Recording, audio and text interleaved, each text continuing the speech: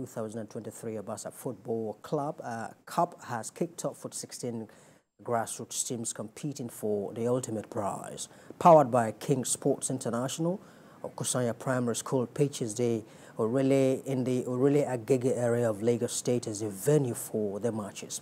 The tournament is put together in honor of Speaker, Lagos State House of Assembly, Right Honorable Obasa, and aimed at uncovering football talents within and around Lagos.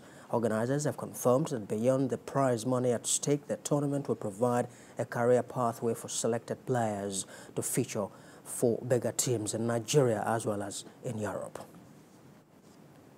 Development, as we can see, is a fair and a peaceful one here at Agege Stadium. I heard that there, there, there are some foreign scouts, even the local scouts here at the opening ceremony of the game, and they'll be here till the last day, the final of, the, of this tournament. So it is for the players to showcase themselves, not to be hard on themselves. Yeah, it's a competition. Show your skills.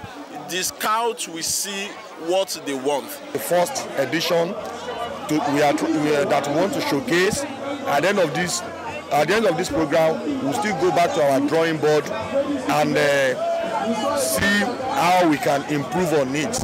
And I'm pretty sure by the special grace of Almighty Allah, this uh, competition will continue.